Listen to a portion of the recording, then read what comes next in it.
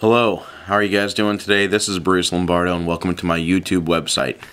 Alright, some of you people here have known me for quite a while. Some of you have actually sat down and gamed with me. Others I've met, we've shaken hands. Others just through Facebook or through reputation. And uh, just that is the wonders of the internet and the new age that we live in. I'm here talking to you today because I've got a book review. We're doing a book review on something called Shadow Raiders. It's a new book by Margaret Weis and Robert Krammes. And if I mispronounce his name or anything, I want to tell you that Robert or uh, Tom Brokaw has made a career of mispronouncing things during a newscast. So, and if you remember, Ed Sullivan did the same thing. It's just the nature of what happens, my people. What we're doing is we have this piece here, which is a advanced copy is 544 page piece. All right. You're looking at around a $25 MSRP, going to be a little lower on Amazon and various websites. They'll give you a discount for the hardcover re-release or pre-release or pre-order, buying it when it's hot on the shelf. And what I'm going to tell you is that right now, if you like Margaret Weis, if you're predisposed to, re- to read anything that she's ever put her name on, including her role-playing products from Margaret Weis Productions or from her early days at TSR, in between those two points, if you need to know anything because you liked it before, then I'm just going to tell you go out and buy it. It's a four and a half star review. All right, to the nitty gritty. Back of the book talks about when Lord Captain Stephano di Gulcin, formerly of the Dragon Brigade, and his friends who form the Cadre of the Lost are hired by the pow- powerful Countess di Marjolaine, advisor to the King of Rosia. They have no hint of the dangers that lie ahead. Their mission is to find a royal armory journeyman who has mysteriously vanished, along with an invention that could revolutionize warfare. The Countess fears the invention may fall into the hands of Freya, the enemy realm that has long sought to topple Rosia. Always in need of money, Stephano and his friends undertake what they think is an easy job, only to discover they are being dogged by spies and assassins. Meanwhile, Father Jacob Northrope, a priest of the feared Arcanum, and his knight protector Sir Andrew Martell are dispatched to investigate the massacre of a hundred nuns at the Abbey of St. Agnes. Stephano and his friends take to the skies in their airship, the Cloudhopper, still on the trail of the journeyman. Their route takes them near the Abbey of St. Agnes, where the Cloudhopper comes under attack by what appears to be demons riding giant bats. Stephano teams with Father Jacob and Sir Andrew and a dragon from his old brigade to fight the hellish forces. After the battle, one question's on everybody's mind are these demons sent by the evil one? Is this the apocalypse? Schemes and tricks, lies and intrigues culminate in an exciting chase through the skies that comes to a shocking climax where the friends and foes alike are caught up in the unexpected and terrifying conclusion. Alright, on my second read through this now. I've had the book for about three weeks, and I've got to tell you that this is probably the most ambitious book that Margaret Weis has ever put her name on. And Robert Krammes, I'm really sorry, I've never read anything of yours before. But I'm going to have some items ordered for me through our local Barnes and Noble.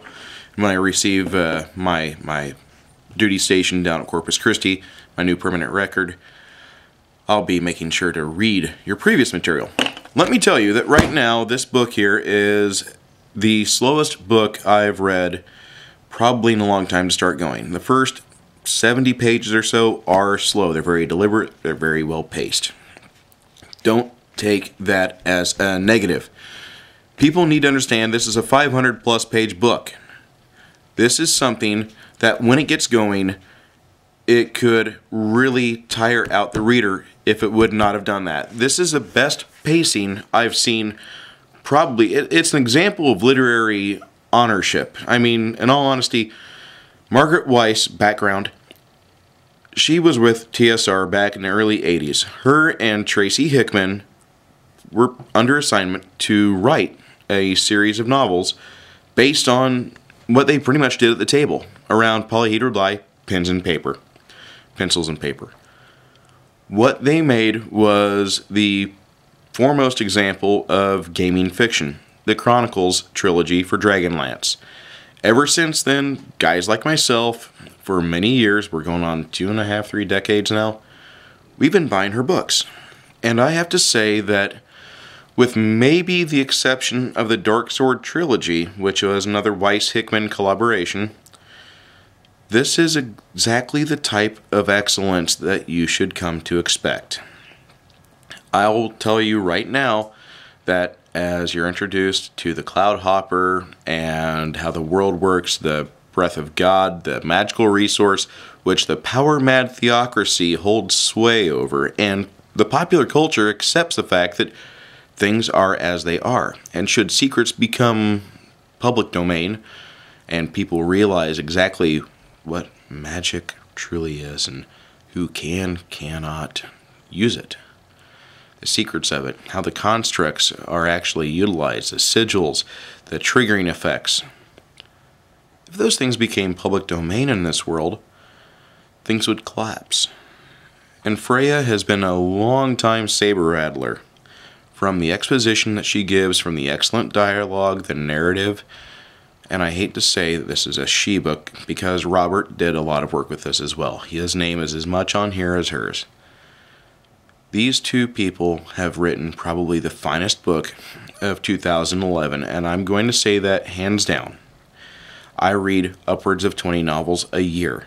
What we're looking at is easily one of the most anticipated series to be coming out in our near future. And the sad thing is that now that I've read this, I have to reread it, and I'll probably reread it twice a year until the new book comes out because this is volume one of the Dragon Brigade. Margaret Weis has let it be known off of her Facebook site that there is a 60 page synopsis for the sequel.